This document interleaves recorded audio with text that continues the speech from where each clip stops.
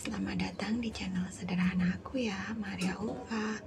Alhamdulillah hari ini aku masih bisa share lagi video aku ya teman-teman ini aktivitas aku di pagi hari ya teman-teman. Setelah beberapa hari ini aku nggak upload kegiatan bersih-bersih beres-beres di dapur ya teman-teman. Karena memang kemarin itu imlek itu kebanyakan makan di luar ya nggak nggak makan di rumah gitu. Jadi ya aku juga mager bikin video juga gitu. Jadi ya upload video seadanya gitu. Dan ini aku sempetin kemarin itu take video. Take video untuk aku up hari ini ya teman-teman. Kan sayang daripada nggak upload video gitu ya teman-teman. Dan ini seperti biasa aku rapiin piring-piring yang sudah kering ya teman-teman.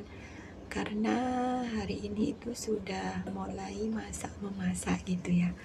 Kan imleknya itu sudah habis gitu. Walaupun masih ada apa ya Sabtu besok itu masih rencananya itu masih ada acara keluar gitu. Tapi kan sekarang sudah bisa masak-masak di rumah gitu. Jadi ya mulai banyak piring-piring numpuk ini ya teman-teman.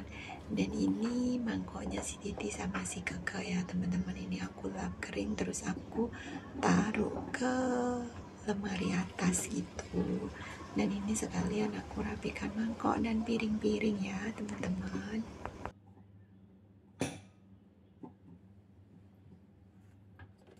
sebelumnya minta maaf ya teman-teman. Kalau dubbing aku itu suaranya itu nggak jelas atau nggak enak didengar ya. Soalnya ini aku dubbingnya itu di dapur dan nggak berani ngomong keras-keras gitu ya. Soalnya majikan aku sama anak-anak itu masih tidur gitu. Kan biasa masih hari libur kan. Anak-anak itu masih masih hari libur jadi mereka itu bangunnya siang-siang. Kalau malam itu tidurnya ya sampai jam 12 kadang sampai jam setengah satu gitu ya. Tapi kalau aku itu jam setengah sepuluh sudah. Aku tinggal tidur ya teman-teman. Soalnya kalau nggak tidur juga mau ngapain? Paling kan cuma mainan HP sama nemenin anak-anak. Jadi ya udah aku tinggal tidur soalnya memang jadwal istirahat aku itu jam setengah sepuluh itu udah istirahat ya teman-teman. Dan ini aku lanjut mau nyuci rak piring ya teman-teman. Dan ini aku mulai menggosok-gosok apa ya tempat rak piringnya itu karena di bawahnya itu juga kotor ya. Jadi aku sekalian gosok-gosok gitu ya teman-teman. Ini juga rak piringnya udah lama nggak aku cuci ya teman-teman. Jadi ini tadi aku sempatkan untuk nyuci piring dulu gitu. Soalnya kalau sekarang anak-anak liburan itu waktu pagi itu lumayan banyak waktu ya teman-teman. Karena mereka itu bangun kadang jam 9 kadang jam 10 gitu dan kadang juga itu kalau aku kelamaan nunggu mereka bangun ya udah aku tinggal keluar gitu belanja gitu ya teman-teman. Karena kalau nunggu mereka bangun itu kelamaan nanti aku belanjanya kesiangan gitu.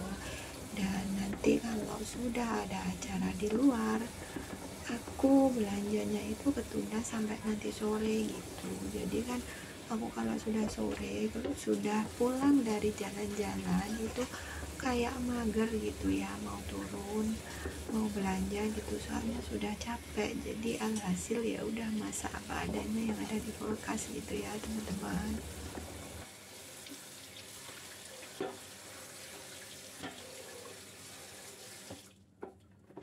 sambil aku nyuci rak piring ini aku mau sapa teman-temanku dulu ya teman-temanku semua gimana kabar kalian hari ini Mudah-mudahan kalian semua tetap diberikan kesehatan, dimudahkan segala urusan, dilancarkan semua rizkinya ya. Amin amin ya robbal alamin.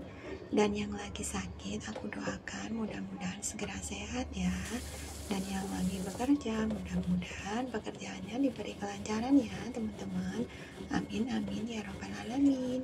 Dan buat teman-teman aku pejuang gadis dua semangat ya buat kalian. Mudah-mudahan di tahun 2024 ini Allah mengaruniakan putra-putri yang soleh dan solehah yang cantik dan tampan ya teman-teman. Amin amin ya robbal alamin. Dan setelah selesai nyuci tatakannya ini aku nyuci rak piringnya ya teman-teman. Kalau rak piring ini nyucinya itu agak lama ya teman-teman. Soalnya kan banyak bolong-bolongannya gitu ya.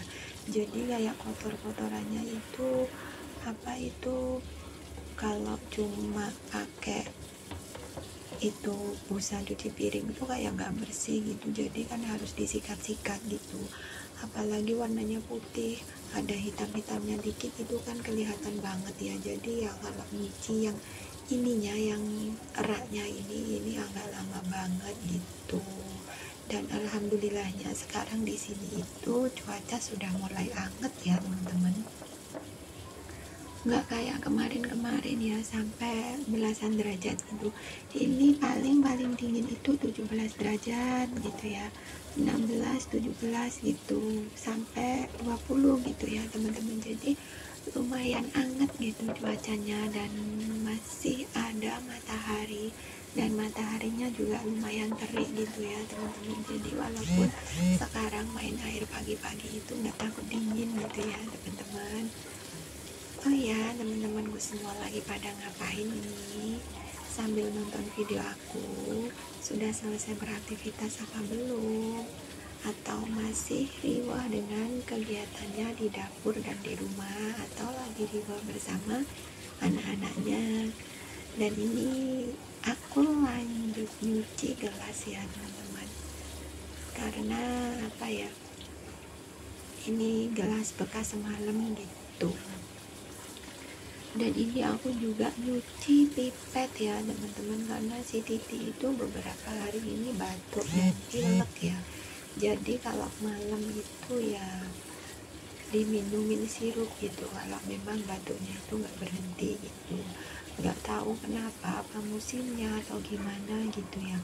Soalnya itu sudah dua bulan ya hampir dua bulan ini kayak batilnya itu nggak sembuh-sembuh gitu dan terus kalau dibilangin jangan makan coklat banyak-banyak itu pasti dianya ngamuk ya teman-teman. Ya maklum ya namanya anak-anak. Apalagi musim imlek ini musim coklat ya teman-teman. Di mana pun kita berada pasti ada coklat ya teman-teman. Jadi namanya anak kecil lihat coklat lihat minuman pasti dia itu kalap ya teman-teman dan setelah selesai mencuci piring ini lanjut. Aku mau bikin sarapan ya teman-teman. Karena aku juga nggak belanja kemarin jadi aku nggak beli roti nggak beli buat sarapan pagi ya teman-teman. Alhasil ya udah aku masak makaroni ini ya teman-teman. Itu tadi aku ada sosis sama capri frozen terus wortel dan jagung frozen ya teman-teman. Sudah itu aja sudah cukup ya buat apa itu buat masak makaroni gitu ya biar ada sayurnya gitu walaupun nggak sayur mayur gitu. Tapi kan sudah termasuk sayur sayuran gitu ya teman-teman dan ini tadi pas aku masukinnya lupa nggak kerikot ya teman-teman. Dan ini sudah aku masukin sosis sama sayur frozennya ya teman-teman. Warnanya cantik ya teman-teman. Anak-anak itu suka banget kalau dimasakin seperti ini. Tapi si keke itu nggak suka kapri gitu. Jadi alhasil nanti untuk mangkoknya si keke itu aku ngambilin kaprinya satu-satu gitu ya teman-teman. Kalau nggak diambilin pasti dia itu nggak mau makan gitu ya teman-teman. Ini sudah mateng ya teman-teman. Nanti aku masukkan ke mangkok itu nunggu sambil nunggu mereka bangun gitu ya. Dan ini tak terasa sudah di akhir video aku ya teman-teman. Terima kasih banyak buat teman-temanku yang sudah mampir menonton video aku dari awal sampai akhir ya. Jangan lupa like, comment, dan subscribe-nya ya teman-teman. Sampai jumpa di video aku selanjutnya. Wassalamualaikum. Bye bye